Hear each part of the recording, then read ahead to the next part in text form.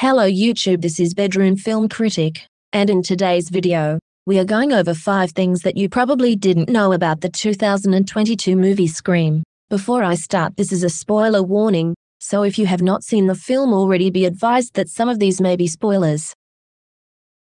Okay with that out the way let's begin. Number 1. In the first film, Sidney utilizes a web-based 911 crisis framework to call for help.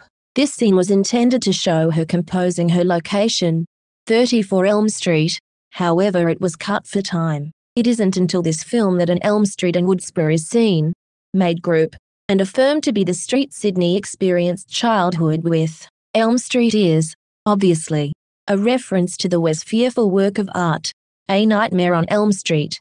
This is God. Now how cool is that?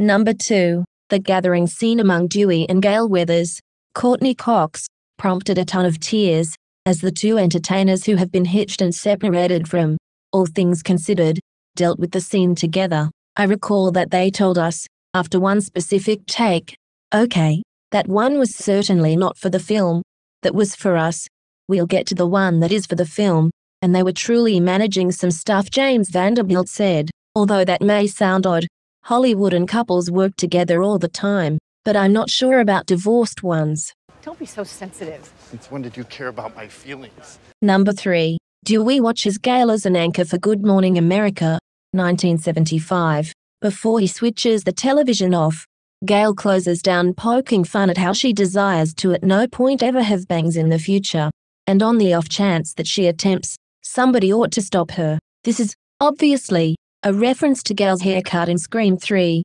2000, a look that fans have ridiculed for a really long time, and even turned into a meme during the 2010s.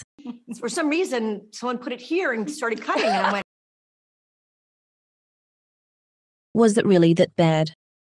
Number 4. The new cast members have all stated that Radio Silence was extremely secretive about the true ending of the film during production, to the point where none of the new cast knew the final outcome, as explained here. This was likely done to avoid the leaks that afflicted Scream 2, 1997. Believe it or not, the leaks from the 1997 film Scream 2 saved the movie from a terrible ending. What do you think, Derek? Sidney experiencing some deja vu? Now, last but not least, number 5. At the point when asked in an August 26, 2022 Fab meeting, who he might want to see killed in the initial scene for the film, David Arquette playfully proposed Logan Paul or his sibling Jake Paul. He said that he felt awkward prescribing somebody to be a character killed in the initial grouping.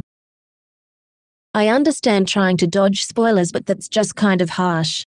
Well, that wraps up our five things you probably didn't know about the 2022 film Scream. Leave a like if you enjoyed and don't forget to subscribe if you are new.